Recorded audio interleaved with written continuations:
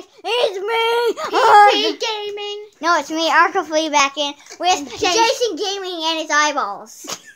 And, Okay, and we're we're gonna be doing a uh Review on the Enforcer. What? yeah, which isn't Well, really I only have like six stars. a. Nerf review. It's not really a Nerf gun, but it's pretty much a Nerf gun. It's an Adventure Force gun. yeah.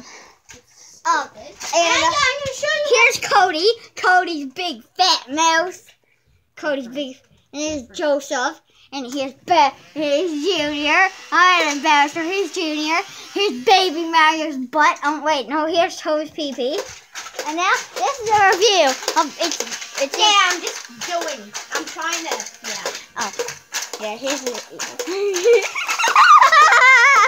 This thing is really good. Oh, yeah. It's a minigun, so. okay, yeah. It's a it's a a What video.